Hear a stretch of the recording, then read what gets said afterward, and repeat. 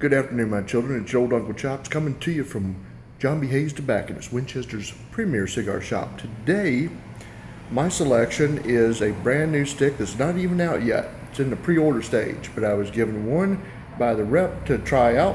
It is the CAO Flathead Steel Horse. This one being the 58 by 5.5. It is called the Ape Hanger.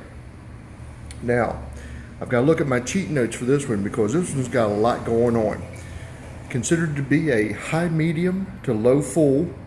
Uh, we start off with Honduran, Nicaraguan, and Dominican long fillers with a Brazilian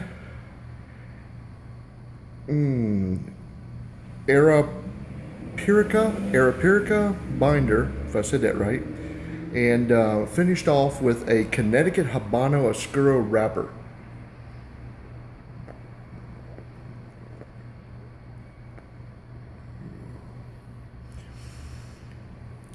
Initial flavors, this has got a lot going on.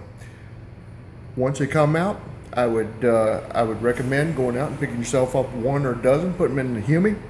Um, you will like these. I'm not a big CAO fan. I'll let you know up front about that.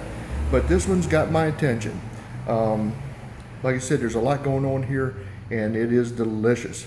So go ahead, pick yourself up one or a dozen. He'll thank you for it later. This is your old Uncle Chops. Have yourself a wonderful day, and I'm out of here.